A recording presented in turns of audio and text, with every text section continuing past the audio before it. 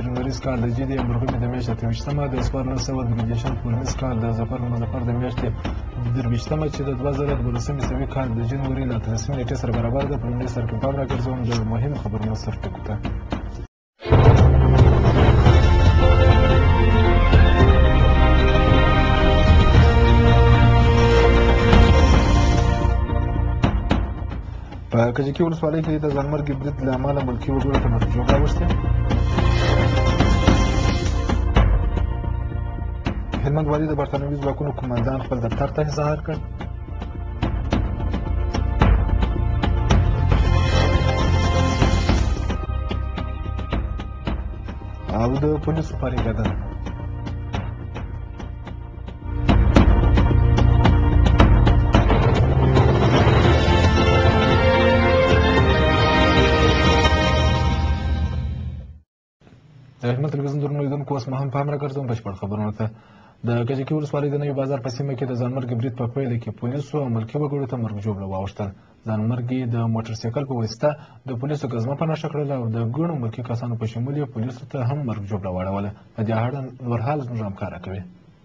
د کجکي ولسوالۍ د نوي بازار په سیمه کې د چهارشنبې په ورځ د دریو بجو په شاوخوا کې د هیواد او وطن دښمنان لخوا د یوه ځانمرګي برید په ترڅ کې د دوو پولیسو په ګډون اوه ملکي هیوادوال شهیدان کړل او د دوو پولیسو په ګډون شپږ ملکي وګړي ټپیان کړل د هلمند د والي ویان محمد داوود احمدي وایي زخمیان تر پیښې وروسته په ډیر تلوار روغتون ته انتقال شوي او روغتیايي حالات یې ښه دی هغه وویل پیښه د یو موټرسایکل سوار ځانمرګي برید کوونکي لخوا هغه مهال رامنځته شوه چې پولیس په سیمه کې په ګزما بوخت وه احمدي وویل په کجکي ولسوالۍ کې دولت د ولس بشپړه همکاري ترلاسه کړې نو ځکه اوس ترهګر هڅه کوي چې دولت او ولس ترمنځ د داسې ناوړو او ناروا اعمالو په ترسره کولو فاصله رامنځته کړي د هلمند د والي ویاند محمد داود احمدي وایي د هېواد او سول دښمنان به هیڅکله دولت او ولس ترمنځ د باور فضا له منځه یو نه سي او دولت به نور هم د کجکي ولسوالۍ د شریفو خلکو ستونزو ته د حل په موخه ځان ورسوي په کجکي ولسوالۍ کې د دوو پولیسو او اووه تنه ملکي کسانو د شهادت له امله د هلمند د والي محمد ګلاب منګل د خواخوږۍ او ډاډګیرنې پیغام په ډیر خواشینۍ سره مې خبر ترلاسه کړ چې د کجکي په ولسوالۍ کې د یوه ناځوان مردانه ځانمرګي برید له امله د دوو پولیسو په څنګ کې اووه ملکي او بېګناه ولسي خلک شهیدان شول دغه ناځوانمردانه برید د ترهګرو له لوري په داسې حال کې ترسره کېږي چې په کجکي ولسوالۍ کې ولس تازه د امن او ارامتیا نه پس اخلي ترهګر پوهېږي چې په هلمند کې د ورځې نه بلې ته سوله او امنیت ټینګېږي نو ځکه غواړي په دې ډول زموږ خلک غمجن او له خپل اسلامي دولت نه جلا کړي زه ډاډ ورکوم چې د افغانستان اسلامي جمهوریت به هیڅکله خپل خلک هیر نه کړي او ترهګرو ته به اجازه ورنه کړي چې د دوی د بېګناه اولادونو او دوستانو وینې توی کړي زه د هلمند والي په حیث په دې پیښه کې د شهیدانو روح ته دعا کوم او د دوی کورنۍ ته د الله جل جلاله له دربار څخه د جمیل صبر غوښتنه کوم او من الله توفیق د هلمند والي محمد ګلاب منګل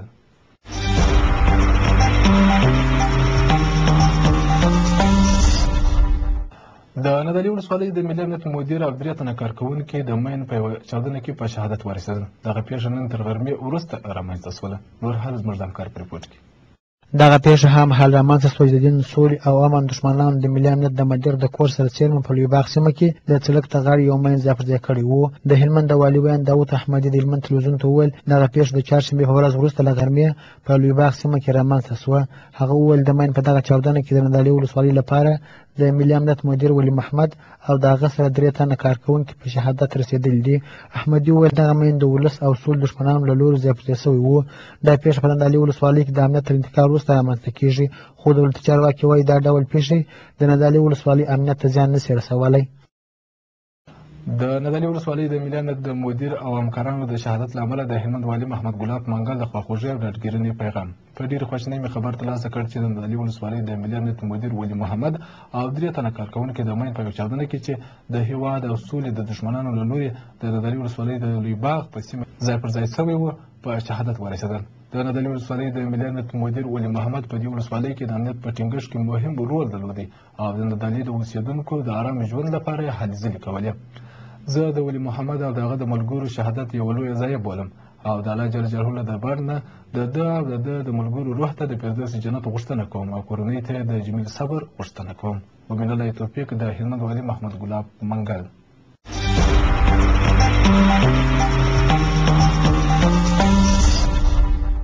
د هلمند والي محمد ګلاب منګل په هلمند کې د برتنوي سرتیرو لخوا د ماشومانو د زورونې په اړه د برتنوي ځواکونو قومندان جنرال پیټریک خپل دفتر ته اظهار کړ چې محمد اکیاره په اړه نور حال راکوي د تیر میلادي کال د دسمبر شپاړسمه او اولسمه نیټه د دوو برتانوي سرتیرو د هلمند په چانجیر شرقي سیمه کې د یوه تنکي ځوان په وړاندې د ناوړه عمل د ترسره کېدو هوډ کړی و چې وروسته دغه موضوع د نورو برتانوي سرتیرو لخوا ولیدل سوه او مسؤلینو ته یې په اړه خبر ورکول سو په همدې اړه د هلمند والي محمد ګلاب منګل د چهارشنبې په ورځ په هلمند کې د برتانوي ځواکونو وظیفوي قومندان جنرال پاتریک خپل دفتر ته هزار او د دغو عسکرو ځورونه یې په سختو ټکو وغندل او په جدي توګه یې ورته سپارښتنه وکړه تر څو په راتلونکي کې د دې ډول پیښو څخه په کلکه مخنیوی وکړي چې د برتانوي ځواکونو قومندان جنرال پاتریک د خپلو سرتیرو لخوا د ماشومانو په ځورونه د هلمند والي او د خلکو څخه په کلکه بخښنه وغوښته او ښاغلي منګل ته یې ډاډ ورکړ چې نوموړي اوسمهال نیول سوي او د محکمې د پریکړې په تمه دي جنرال پاټریک همداراز ډاډ ورکړ چې په راتلونکي وخت کې به دا ډول کړنې نه ترسره کیږي او مخنیوی به یې کوي بلخوا د برتانیا هیواد رسنیو هم ویلي چې د برتانیا د پولیسو دوو برتانیوي پوځیانو پوښتنې ګرویژنې کوي چې افغانستان کې د دوو افغان ماشومانو د ځورونې په تور نیول شوي سن ورځپاڼې ویل د ماشومانو د ځورونې دا پیښه په کمره ریکارډ شوې او بیا نورو برتانیوي پوځیانو خپلو ملګرو ته په کمپیوټر کې ښودلې ده د برتانیا د دفاع وزارت ویلي چې دا ډول تورونه به له شاهي پولیسو سره په ګډه په جدي توګه وڅېړي د برتانیا پولیسو ویلي چې دغه مسئله به جدي نیسي او مجرمین به محکمې ته راکاږي د لشکرګاه د پولیسو له ښوونیز مرکز څخه شاوخوا یو سلو نوي تنه پولیس تر دوه میاشتو مسلکي زده کړو وروسته فارغ شول د هلمند والي له ټولو فارغ شوو پولیسو غوښتنه وکړه چې زده کړي مهارتونه د عمل په ډګر کې پلي کړي او له خپلو خلکو سره په ښه چلند د خپلو ټولنې خدمت په ښه توګه ترسره کړي شاه محمد اکیار یو ځلې بیا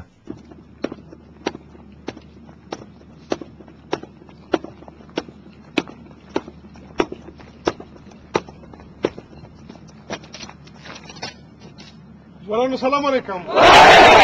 ستړي مه شئ د چهارشنبې په ورځ د لښکرګاه ښار د پولیس د ښوونیز مرکز څخه یو سل او نوي تنه پولیس ته تر اتو نوي مسلکي زده کړو وروسته فارغ او ورته د فراغت لیکونه ورکول سوه په همدې اړه په جوړو سوو مراسمو کې د هلمند والي محمد ګلاب منګل د پولیسو د اووه سوم سهوي زون قومندان پاسوال عصمت الله دولتزي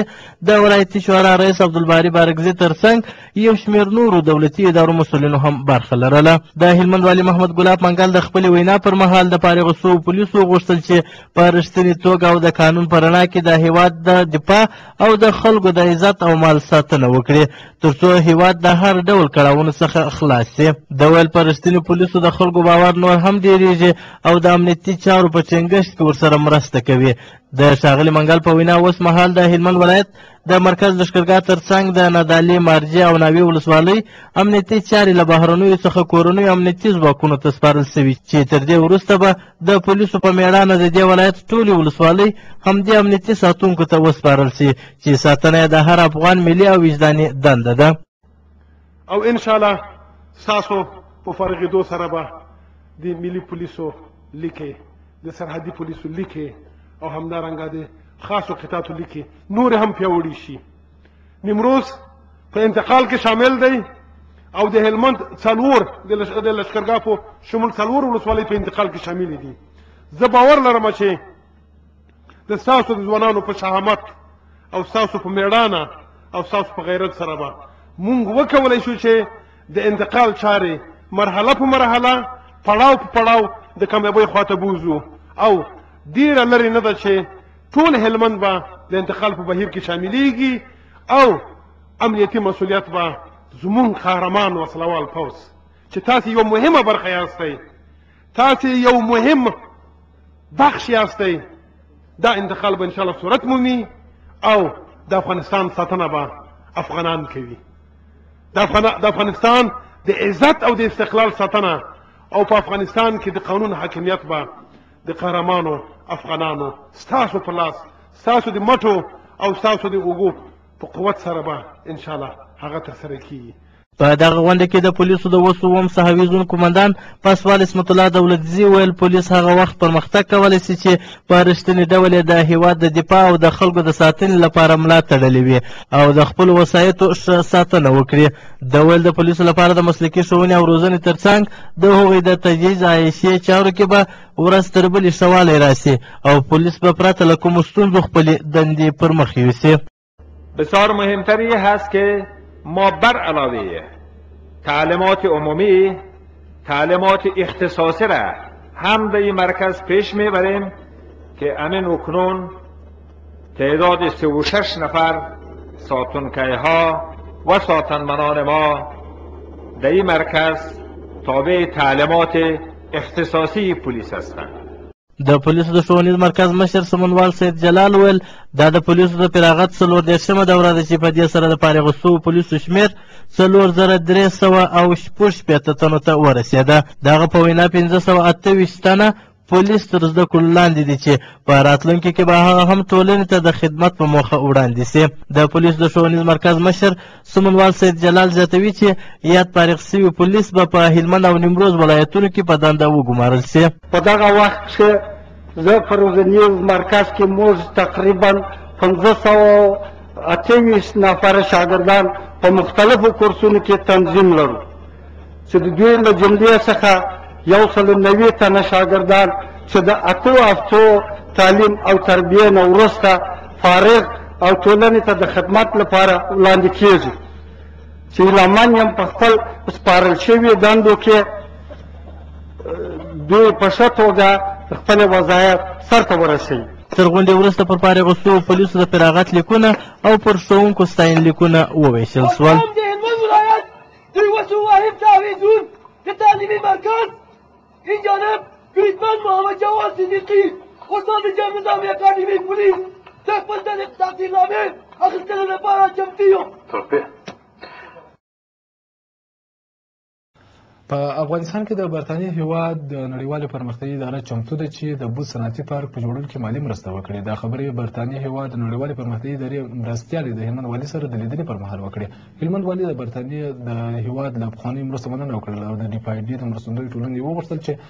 د هلمند د صنعتي پارک په جوړولو کې ژر تر ژره خپلې مرستې پیل کړي او دا ګټور پارک د هلمندي سوداګرو پر وړاندې پرانیستل شي شاه محمد اکیاره په اړه نور حالا کوي په افغانستان کې د برتانیا هیواد د نړیوالې پرمختیایي ادارې مرستیالې مېرمن ميرې د چهارشنبې په ورځ د هلمند والي محمد ګلاب منګل سره دغه د کار په دفتر کې وکتل په دغه کتنه کې مېرمن ميرې وویل هلمند ته د دې لپاره راغلې ترڅو د برتانیا هېواد د پرمختیايي چارو له پولیسو پروژو نه لیدنه وکړي او معلومه کړي چې د هلمند د خلکو لپاره د دوی لخوا پلې شوې مرستې څومره اغېزمنې تمامې شوي اغلې ميرې وویل د برتانیا هېواد پرمختیايي چارو اداره ژمنه ده چې په هلمند کې د کرنیزو توکو د پروسس او بازار لپاره د صنعتي پارک په جوړولو کې ژر تر ژره خپلې مرستې پیل کړي د دې په خبره په هلمند کې به د صنعتي پارک په جوړولو ګڼ کاري فرصتونه برابر سي او له بله پلوه به د کروندګرو اقتصاد د حلالو توکو په کرلو پر پښو ودرېږي د هلمند والي محمد ګلاب پنګال په افغانستان کې د برتانیا هیواد د نړیوالې پرمختیایي ادارې د مرستو ستاینه وکړه چې د دې ولایت په بېلابېلو پرمختیایي برخو کې ترسره کړي د همداراز د یادې پروسې د مرستیالې وغوښتل چې د بست د صنعتي پارک د جوړونې چارې دې ژر تر ژره پیل کړي څو د هلمند ډېری ملي سوداګر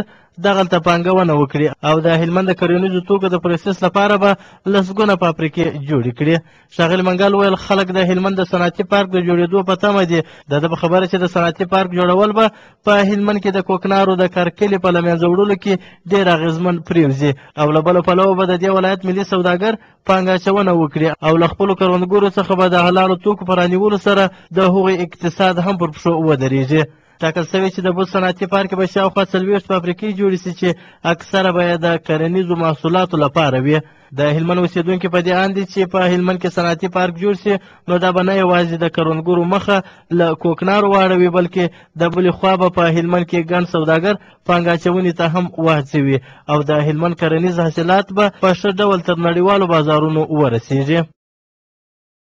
د نوزاد ولسوالۍ د پولیسو نوي امنیه قومندان په دنده پیل وکړ پر همدې مهال د هلمند امنیه قومندان وویل پخواني امنیه قومندان په نوزاد کې د امنیت په ټینګښت کې د پام وړ هلې ځلې ترسره کړې نوموړي له نوي ټاکل شوي قومندان غوښتنه وکړه چې د نوزاد د خلکو د امنیت په خوندي کولو کې دې کوټلي ګامونه واخلي او د سیمې له خلکو سره د ښه چلند په وسیله دې د هغوی باور پر پولیسو نور هم ټینګ کړي میراحمد دوسي په اړه نور حال راکوي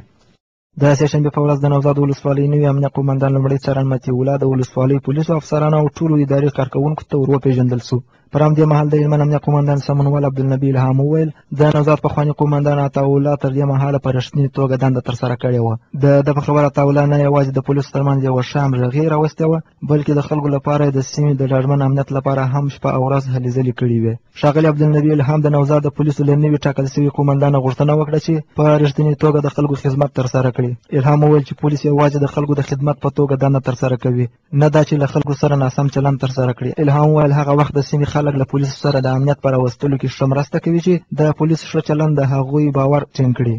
سر د ننه څخه مطیع الله خان ستاسو قومندان دی او دی به تاسو ته لکه مخکې چې مې عرض وکړي سرباز قومندان که واقعا قومندان وي د اولاد حیثیت ورته لري ولې هغه عسکري نظم و نسق چې د ده مسؤلیت دی دی باید وکړي اجرا یې کړي هغه زه د ده څخه غواړم طالبو تربیه د عسکري قانون د پولیسو مقررات عسکري تاسې زه د ده څخه غواړم دی بیا پر ته تطبیق کوي او ستا څخه بیا غواړي د نوزاد ولسوالۍ پخوانی قومندان دوم ترانه تاولا وویل د دوه کلونو راپدې خوا د نوزاد په ولسوالۍ کې پولیسو د خلکو په مرسته دنده ترسره کړې چې د ده په وینا پولیسو په دې ولسوالۍ کې د ترهګرو ګڼ شمېر پلانونه شنډ کړي او له خلکو سره یې په ښه چلند د هغوی باور په لاس راوړی. نوموړي وویل، ګڼ شمېر ماینونه، وسلې او مهمات یې له وسله والو ترهګرو نیولي. او د نوزاد هغه غیرتمن پولیس چې دا دوه کاله د نوزاد په ولسوالۍ کې د نوزاد ولسوالۍ ته زه راغلی یم ما لس نفره پولیس درلودل یولسم نفر پولیس هم نه و. ان شاء الله په کومک ستاسو او په کومک د ولس چې هر قومي سپین ږیري خپل بچی او خپل اولاد ما ته د پولیسو د نوزاد د پولیسو په تشکیل کې راکړه او ما اوس یو سل اویا نفرو ته د نوزاد پولیس او د نورو ولایتو پولیس رسولي دي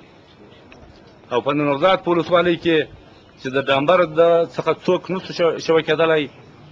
سړک ټول مینونه وو دوه سوه دېرش دانې مینونه زه خپل په لاس تقدیرنامه او شهادتنامې د مرینو لرم چې ما په خپل لاس راکښلي دي او دغه سړک زمینه مې و خلکو ته مساعده کړې چې تر ګرشو لښکرګاه پسې خپل رب سلامت کړي د نوزاد د پولیسو د قوماندان تر پیژندنې وروسته ښاغلي الهام ورسره پلاوي د نوزاد ولسوالۍ د سپینږیرو او قومي مشرانو په ګډون یوې جوړې شوې غونډې کې هم برخه واخیسته وروسته د غونډې په پیل کې د نوزاد ولسوال سید مراد هغه په نوزاد کې د پرمختیايي چارو او ملکي خدمتونو په اړه غونډې ته وینا وکړه نوموړي وویل تر دې مهاله د نوزاد ولسوالۍ ګڼې ادارې فعاله کړي چې خلکو ته د خدمتونو ښې ګټې رسېدلې هغه وویل دغلته د ټولنیزې شورا جوړه سوې او همدارنګه د ښځو شورا جوړه سوې چې له امله یې د ولسوالۍ د خلکو ګڼې ستونزې حل کړي نوموړي د شمېر پرمختیايي چارو یادونه وکړه چې د ده په خبره ګڼ شمېر پرمختګونه رامنځته سوي د افتخار ځای دی چې اولین ځل قومندان صاحب حمیه چې د هلمند ولایت ته راغلی دی اولین ځل د نوزاد تشریف نوزاد ولسوالۍ ته تشریف راوړی موږ ډېر ځینې خوشحاله یو تر څو د نږدو څخه د نوزاد د ولسوالۍ د شریفو خلکو ستونزې او مشکلات په خپلو سترګو ووینئ د هلمند امنیه قومندان سمونوال عبدالنبي الهام وویل پولیس به تر خپله وسه پورې هڅه وکړي چې د خلکو لپاره د یوه قوي امنیت د ټینګښت لپاره کار وکړي هغه له ځایي مشرانو غوښتنه وکړه چې د پولیسو سره په مرسته د نوزاد ولسوالۍ د ټولو سیمو امنیت خوندي کړي الهام وویل په سیمه کې هغو کسانو ته اجازه مه ورکوئ چې ناامنۍ ته لمن وهي. هغه څه چې په مجموع کې په موږ او تاسې پورې اړه لري هغه به مشترک حلوو. تاسې د نوزاد ولسوالۍ تاسې نوزادیان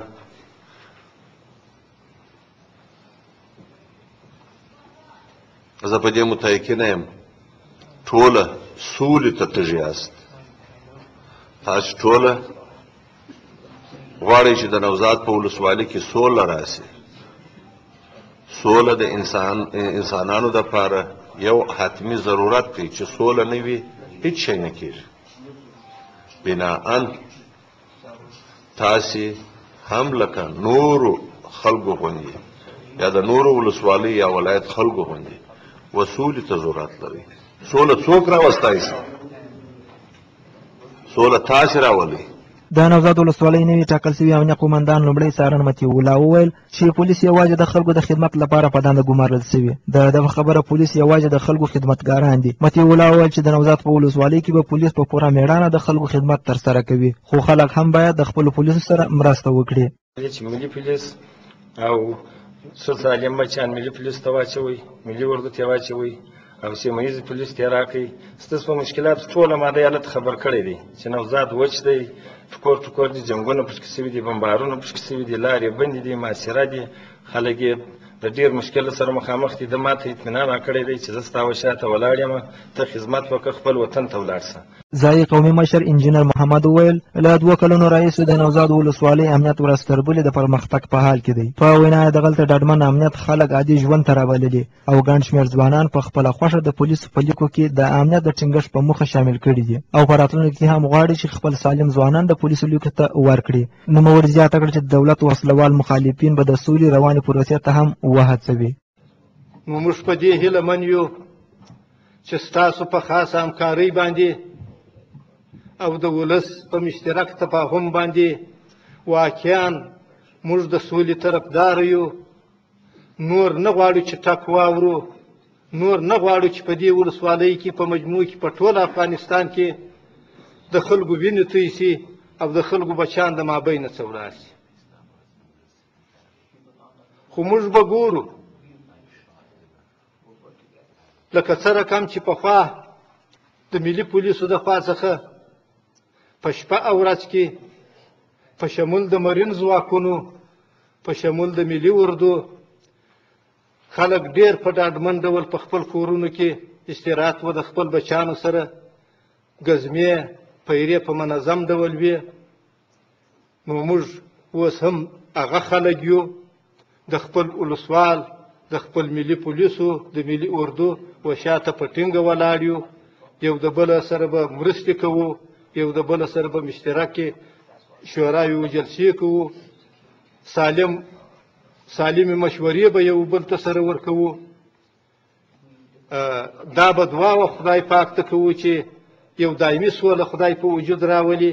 د هلمند امنیه قومندان او ورسره پلاوي په نوزاد ولسوالۍ کې د پولیسو له یو شمېر پوستو څخه هم لیدنه وکړه او پر همدې مهال یې هغوی لا هم خپلو دندو ته وهڅول امنیه قومندان عبدالنبي الهام وویل د نوزاد پولیس په وسلو او مسلکي روزنه سمبال دي او د هغوی عیاشي او هر څه منظم شوي نوموړي د نوزاد له ټولو خلکو غوښتنه وکړه چې د پولیسو سره د امنیت په راوستلو کې مرسته وکړي ترڅو د نوزاد په ټولو سیمو کې امنیت په ښه ډول خوندي شي.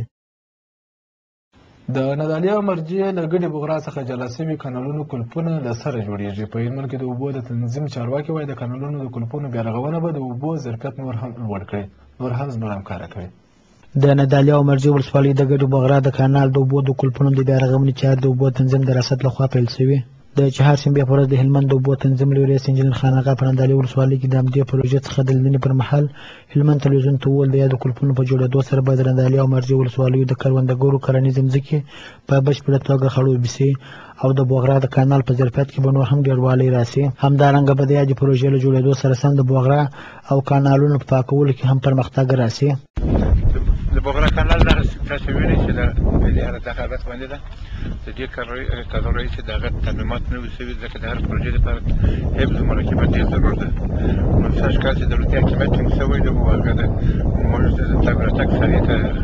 ثانه شوې ده